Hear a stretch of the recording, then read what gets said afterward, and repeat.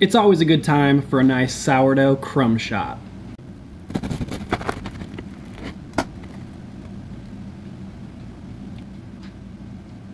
Pretty good. Subscribe to my channel Grant Bakes for more sourdough bread videos.